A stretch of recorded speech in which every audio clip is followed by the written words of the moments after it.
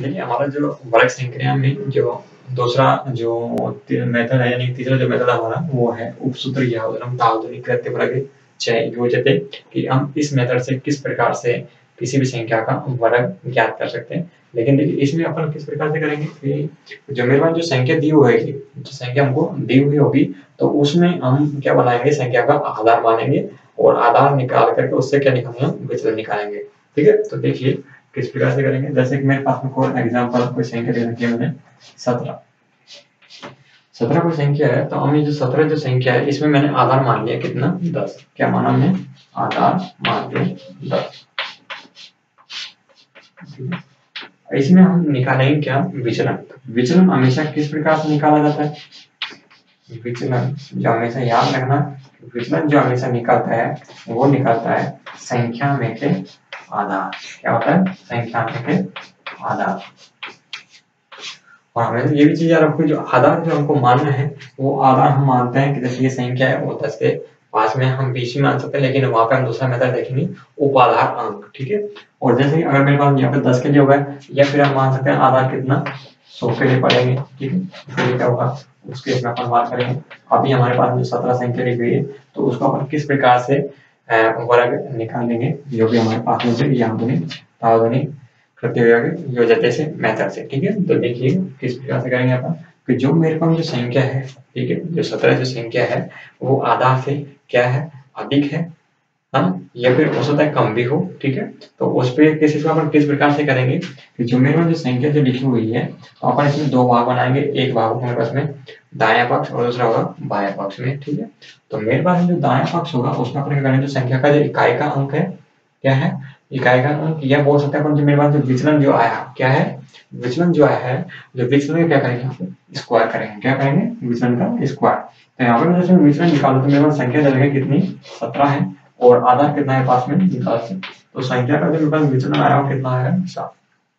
तो हम क्या करेंगे? इधर मेरे पास जो दाया पक्ष है, यानी कि संख्या यानी कि विचलन का क्या करेंगे आप?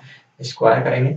और इधर जो मेरे पास जो संख्या लिखी हुई है, क्या लिखी हुई है? संख्या। जैसे कि मेरे संख्या है सत्रह, उसमें क्या करेंगे आप? सात ऐड कर देंगे जोड़ देंगे। तो मेरे पास जो आंसर आया, क्या सत्रह में अगर मैं सात को ऐड करता हूँ इन्हें जोड़ता हूँ तो मेरे पास में आता है कितना?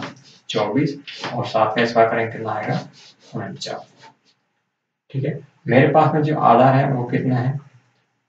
दस है, यानी कि एक ज़ीरो। आपको इधर से क्या लगना है? आपको ओनली एक संख्या लेनी जो कि नौ है। और अगली संख्या कितनी है पास में चार, और चार होगा करना आपको अगली संख्या से जोड़ना है। अगर मैं चार को चार से जोड़ूँगा कितना आएगा पास में? आठ, और अगली संख्या कितनी है दो, यानी कि दो सौ निवासी ठीक है? अब देखो, इसमें अगर आपको फॉर्मूला याद रखना है तो आप सूत्र बना सकते हैं इसका।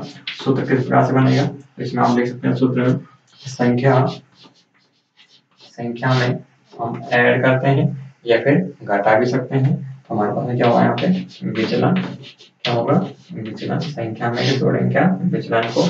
और सेकंड बाकी में दाया पक्ष में हम लिखेंगे विचलन का स्क्वायर ठीक है? तो इस तरह का अपन फॉर्मूला बना सकते हैं इसमें।